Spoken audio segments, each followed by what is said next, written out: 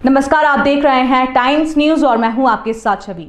इंदौर में पिछहत्तरवे गणतंत्र दिवस के उपलक्ष्य में सेंट्रल जेल से 12 कैदियों को अच्छे आचरण के चलते रिहा किया गया। इस दौरान नम आँखों से बंदियों ने गलती से हुए अपराध का उन्हें जीवन भर पछतावा रहने की बात कही।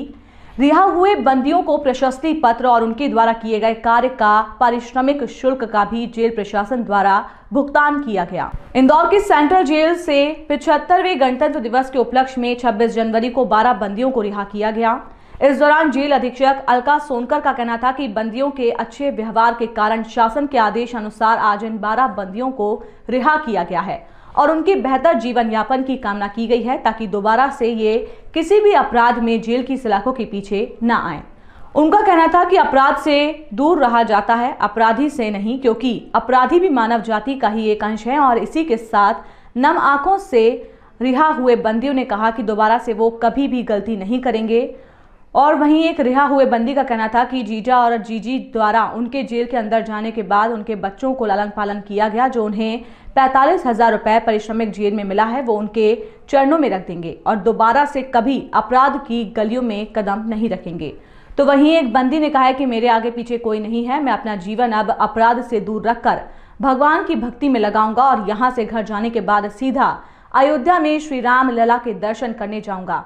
लेकिन इन बंदियों की आँखों में आँसू तो थे ही, साथ में रिहा होने के चेहरे पर मुस्कुराहट भी नज़र आई थी। लेकिन इस वर्ष 26 जनवरी पर कोई भी महिला बंदी रिहा नहीं हुई, केवल 12 पुरुष बंदी ही रिहा हुए हैं।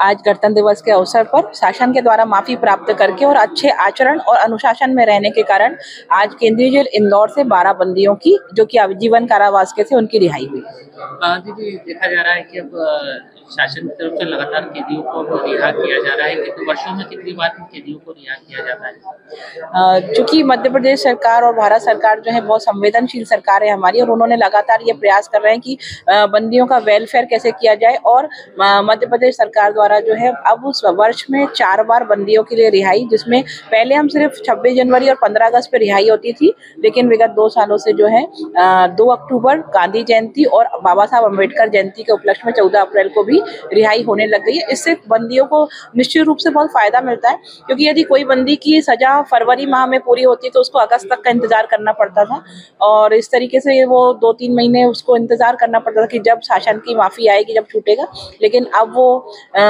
जो है जनवरी में, फिर उसके बाद अप्रैल में, फिर उसके बाद अगस्त और फिर अक्टूबर। इस तरीके से शासन की इस नीति के तहत बंदियों को बहुत लाभ हुआ। बंदी जो छोटे हैं, उनको रोज़गार की कहीं ना कहीं समस्या है। इसे लेकर जेल प्रबंधन की तरफ़ से कोई व्यवस्था कराई जाएगी इनकी? ये जो बंदी छूटे हैं, इसमें से छह बंदी तो ऐसे हैं कि जो जिस दिन सजा हुई थी, उस दिनांक से लगाकर आज तक जेल में ही वो कभी पैरोल भी नहीं गए हैं। तो अभी तो वो सब अपने घर पे जा रहे हैं। वहाँ पे वो जिनका खेती किसानी या जो उनका परंपरागत काम था, वो करेंगे। और उनको हम लोगों ने जेल में जो है, उनके रुचि अनुसार स्किल डेवलपमेंट के काम भी सिखाए हैं। और भविष्य में यदि उनको किसी प्रकार के रोज़गार नहीं मिलता है और उनको हमारे मदद की आवश्यकता लगेगी तो जेल प्रशासन उनकी पूरी मदद करेगा। तरह का संदेश दिया। कैदियों को यही संदेश है कि आप जीवन में जो भी आपसे भूल चूक हो गई हो उसको भूल करके जैसे कि गांधी जी की धारणा है कि घृणा घृणा जो है अपराधी से नहीं अपराध से करना चाहिए। तो अनुशासन जो है उसमें यदि आप रहेंगे तो आप जो है शासन की नीतियों का लाभ पाएँगे और सकुशल अपने घर और अपने परिवार के बीच में पहुँच पाएँगे। दोस्तों का झगड़ा हो गया था? उसमें झगड़े में गए सामने वाले की हत्या हो गई। उस केस में हमने पूरे पंद्रह साल काटे हैं। पंद्रह साल काट के ये सीखा है कि ऐसा आगे से कुछ काम करना नहीं है अपने को जिससे अपने को यहाँ आना पड़े। और इसके अलावा और कुछ नहीं। पछतावा पंद्रह साल पछतावा तो हर हर हाँ क्यों नहीं? तो पछतावा हो कहीं ना हाँ। कहीं एक हाँ पछतावा तो पछतावा तो होता है देखो हर चीज़ कोई कुछ भी गलत काम करेंगे उसका पछतावा एक ना एक दिन होगा। अपन को शुरू में ऐसा लगेगा कि नहीं ये सब ठीक है। अब यहाँ से रिहा हो रहे हो तो क्या काम काज वही मेरा जो पहले का काम था फोटोग्राफी का वही काम वापस रिन्यू में करूँगा मैं। मेरे को आजीवन की सजा थी और तीन साल ऊपर था आजीवन के। नी भरने पे दस हज़ार रुपये जुर्माना लगाया था। तो वो मैं भर चुका हूँ। किसकी हत्या की थी आपने? भाई के लड़के की हो गई।